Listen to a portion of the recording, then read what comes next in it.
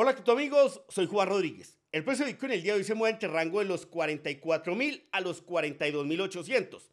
He venido hablando que desde mi perspectiva, de aquí a que se autorice el ETF, el precio de Bitcoin será alcista en general. Ahora, la pregunta del millón es, una vez se autorice el ETF, ¿continuaremos con el impulso al alza o retrocederemos? Ya saben por qué escenario me inclino, pero quiero darle perspectiva a las dos cosas porque cualquiera es posible y es importante acoplarse a lo que suceda. Vamos a ver por consiguiente qué espero del precio de Bitcoin al corto plazo, partiendo de esos dos escenarios y diciéndoles algo muy importante. Se nos viene una vela cuando autoricen el ETF de un tamaño importante, tal vez de 5 mil, de 10 mil dólares, y en el futuro la utilizaremos como la vela del ETF. Y hablo en temporalidad diaria, de un día. Por el lado de largo plazo quiero mostrarles algo importante porque nos enfocamos mucho en el corto, pero no vemos que lo más relevante está a largo plazo. La proyección de Bitcoin en 10 años es para que estemos en un precio entre los 400 mil y tal vez el millón de dólares. Ya les voy a decir de dónde sale eso, que no es nada locado y es una perspectiva que muchos deben de tener y por consiguiente sería bueno que almacenen 0.1 Bitcoin de aquí a allá. Veremos cuánto logran hacer esa tarea.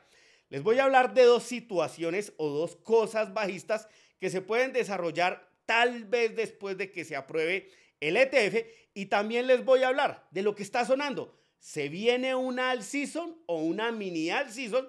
¿Y cuál es esa proyección tal vez de que Solana va a los 100 dólares y por qué la están sacando? Que no seas tú el que te quedes comprado con toques de Solana o de shitcoin o de otras criptos en precios altos después del tema del ETF. Entonces, la pregunta más importante que debemos hacernos al corto plazo sobre el precio de Bitcoin es si una vez autoricen el ETF de Bitcoin al contado en los Estados Unidos, pues ese evento será de uno, comprar el rumor y vender la noticia o la opción 2, comprar el rumor y también comprar la noticia. Les explico esto. Lo que están observando en esta imagen son los dos escenarios en velas que me representan el precio de Bitcoin en temporalidad de un mes. Lo que sí sabemos es lo que ha ocurrido en 2023. Iniciamos el precio a los 16.500 y en este momento vamos por los 44 mil dólares. ¿Qué ocurre? ¿A qué me refiero con el rumor y con la noticia? Sabemos que el impulsor importante para el precio de Bitcoin en el corto plazo ha sido el tema de los ETF de Bitcoin en los Estados Unidos. Esa noticia y la propuesta de BlackRock se conoció aquí en junio de 2023 cuando estábamos en los 25 mil dólares. Ese fue el rumor. Allí estuvimos citando que era momento para comprar el evento, el rumor. Ahora la gran pregunta es si cuando se dé la noticia de que autorizaron el ETF, que puede suceder este mes, o antes del 10 de enero, será un momento o un evento para vender la noticia ante una potencial corrección, como me lo indican estas velas rojas, o tal vez sea lo contrario y algo que muchos no esperan, en donde sea momento también de comprar la noticia, cosa que no sucede mucho de esta forma, pero es algo que puede suceder y ya lo vamos a hablar y tenemos que estar abierto a ello. Ustedes saben que mi perspectiva ha sido la número uno prácticamente, pero a medida que nos acerquemos al ETF, ojo, ya les he explicado dos factores a los cuales hay que estar muy atento, que depende si ocurre el escenario 1 o el escenario 2. Saber acoplarse a eso va a ser muy importante para tomar buenas decisiones. En lo personal, me sigo enfocando por el escenario 1, pero le bajo a las probabilidades. Y para quienes aún no entienden esto, supongamos que cuando autoricen el ETF estemos a un precio de los 50 mil dólares. No sería ridículo pensarlo, pero una vez lo autoricen y dependiendo de esos dos factores que he hablado, puede ocurrir un retroceso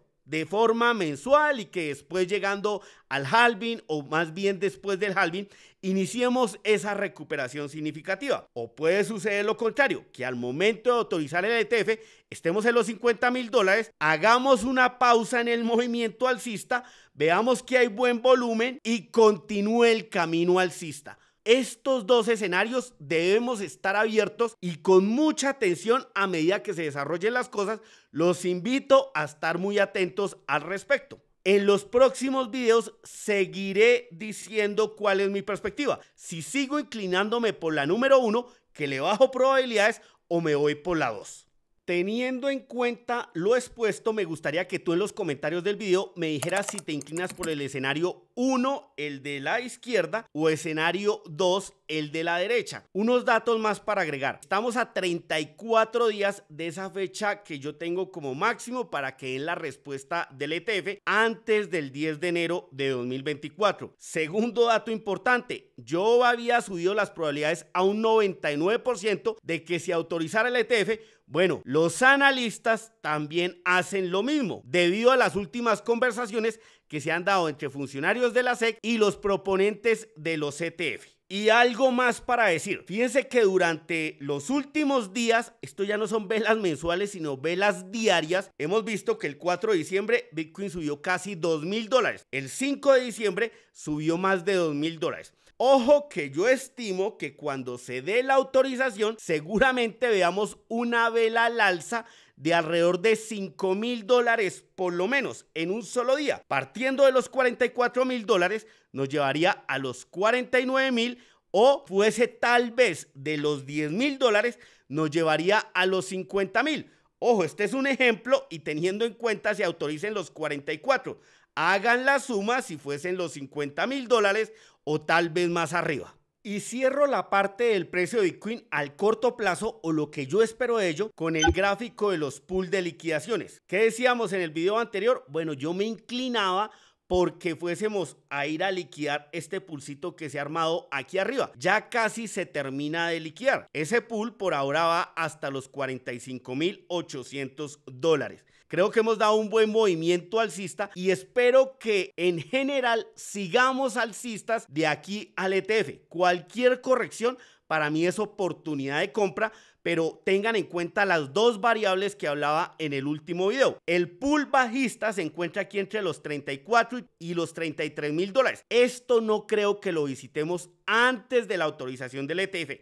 Otra cosa será después y ojo que esto se irá subiendo y ya lo hemos hablado. Por el lado de largo plazo y que debería ser lo más importante porque es donde se puede obtener el mejor retorno de una inversión, entre comillas, pues es lo que les voy a explicar a continuación. Estamos a 135 días del siguiente halving. Eso es alrededor de cuatro meses. ¿Qué es lo que ha pasado en los ciclos anteriores? Que después del halving es cuando se da la mayor apreciación en prácticamente los siguientes 12 meses, que es lo que me muestra esas líneas verdes. Añadido a lo anterior, y atención a esto, en mi página web yo describo a Bitcoin como un activo con múltiples usos, donde rescato que uno de sus usos más frecuentes es como depósito de riqueza.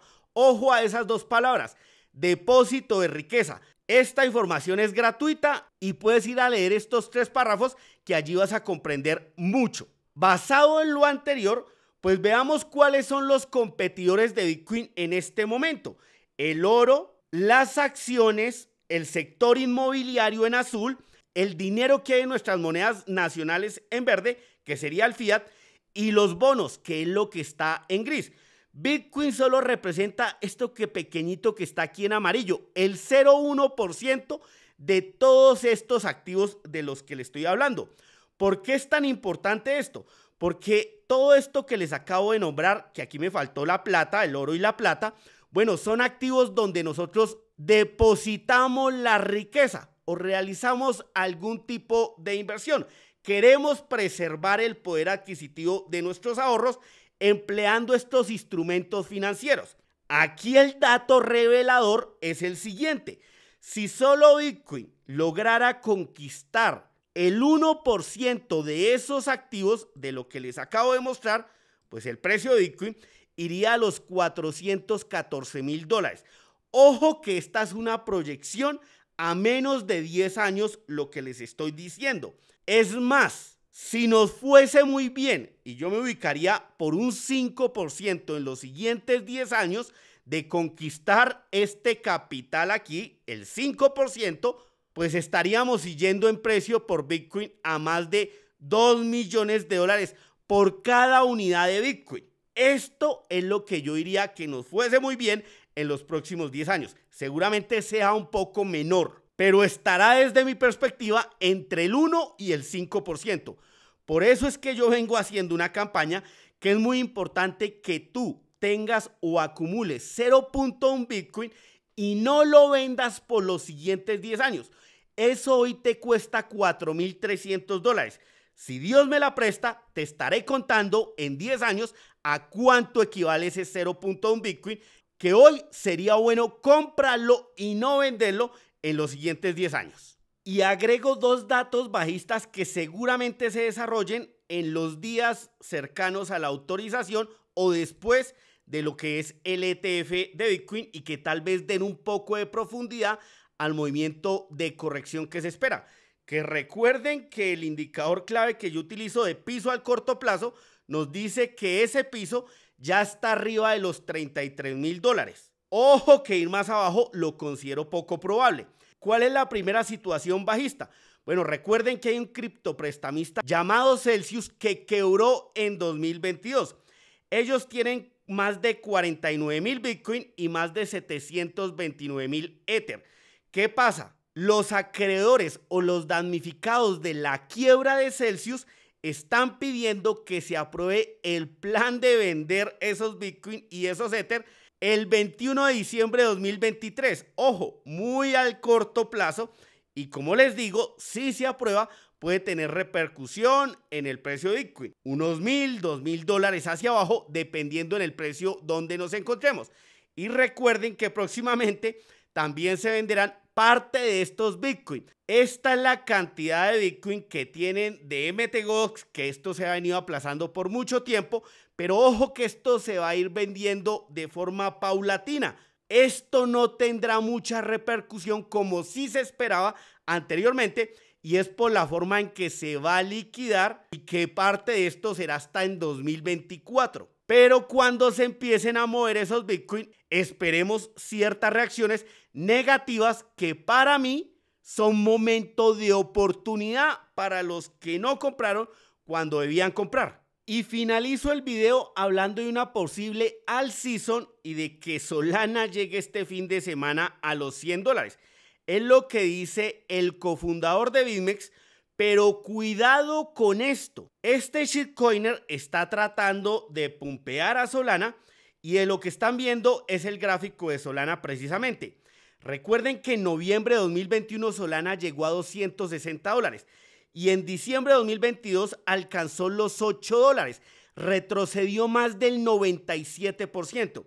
Aquí hay mucha gente atrapada como posiblemente este señor con Solana comprados en la parte alta y te los quiere vender a ti aprovechando el movimiento alcista. Recuerden que con la caída de Alameda y FTX, bueno, el token de Solana sufrió mucho y cuidado que después de este movimiento alcista de Solana pueden salir tipos como este y otros VC dejándote a ti con los Solana comprados en la parte alta. Ojo con lo que quieren hacer con Solana y que tú resultes siendo la víctima y comprando caro.